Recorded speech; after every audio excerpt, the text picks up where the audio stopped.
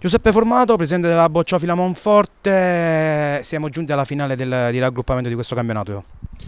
Siamo giunti alla finale con la Viterbese, doppio confronto nel campionato di società di prima categoria, ovvero in quella Kermesse in cui partecipano gli atleti di categoria A. Noi ci eravamo prefissati l'obiettivo di arrivare alle Final 8, siamo a un passo, ora c'è questo doppio confronto in casa contro la Viterbese e eh, sabato 30 a Viterbo contiamo di qualificarci per le Final 8 scudetto e sarebbe la prima volta che una società molisana prenderebbe parte appunto alle finali per giocarsi lo scudetto di categoria, una squadra questa della Monforte Campobasso che è arrivata alla finale di raggruppamento con tutte vittorie e ha dato soddisfazione alla società ma all'intero movimento boccistico, eh, quasi come scherzo del destino, eh, cosa pure accaduta quasi mai credo in Molise, con la squadra di terza categoria, ovvero quella composta da giocatori di categoria C, siamo giunti allo stesso eh, livello, ovvero sempre alla finale di raggruppamento e il doppio confronto in quel quel contesto ci vede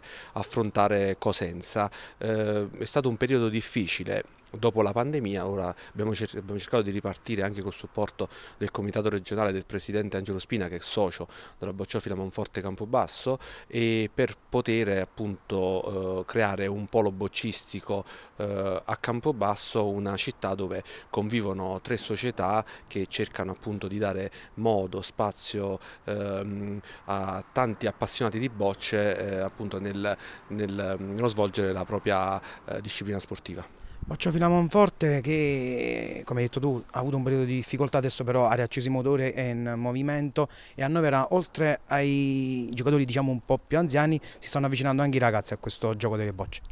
Sì, le bocce sono lo sport per tutti per antonomasia, danno l'opportunità eh, di giocare e quindi eh, fare attività sportiva eh, alle persone dai 3-4 anni appena riescono a mantenere una boccia in mano fino all'ultimo giorno eh, della propria vita e questa è proprio la forza delle bocce, uno sport che permette anche ai disabili ma anche ai disabili gravi di poter eh, appunto giocare e esprimersi a livello agonistico anche a livello nazionale e internazionale. Noi da par nostra per quanto riguarda la bocciofila Monforte abbiamo un gruppo di atleti senior, abbiamo qualche donna che si sta avvicinando alla nostra disciplina sportiva, abbiamo dei ragazzi e soprattutto con la cooperativa Sirio abbiamo un progetto con eh, le persone con disabilità che frequentano i locali della nostra associazione per lo più di mattina eh, dove mh, durante le ore appunto mattutine eh, vengono alla bocciofila Monforte per eh, fare un po' di attività sportiva nell'ambito delle loro attività diurne.